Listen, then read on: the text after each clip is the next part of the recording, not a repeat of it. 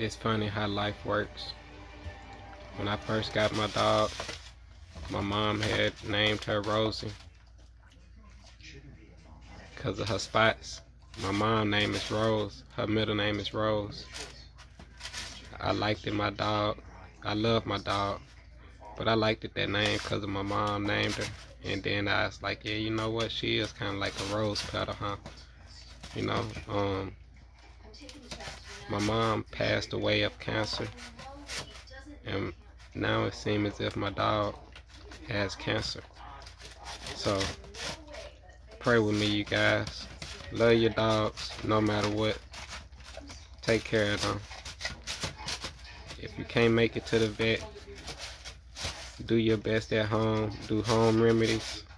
Look up online. Try and find the best information you can. Because I know I don't have all the information for you.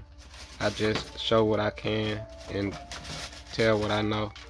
I don't charge because everybody want to do good by their animals, you know? So why I charge for value information?